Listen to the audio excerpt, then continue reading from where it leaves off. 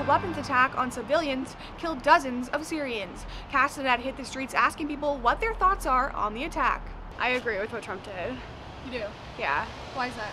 Because I don't think that what Syria did was right.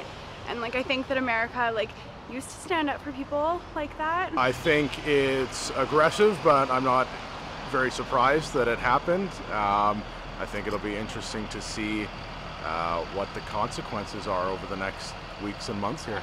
I think Trump handled the situation like he's handled a lot of things, which is a little bit uh, impulsively and without much consultation with a lot of people. But um, yeah, I, I wasn't surprised by how he handled it. It's obviously super scary, but I'm the first thing I thought was like, is this gonna affect my plane ride home? Like, I don't know, like what's gonna, yeah, like, are we? I don't know. I just feel like there's gonna be like More security. more, yeah, more security issues. Well, casualties, children. Anytime that happens in the world, that's a bad thing. So I think we have to support it. We have to support the United Nations, and Canada is a member of that. So I do believe we have to support it. Whether or not we have to send troops over, I don't know if we have to go to that extreme, but I'm concerned. I hope it doesn't end up escalating to anything more. Um,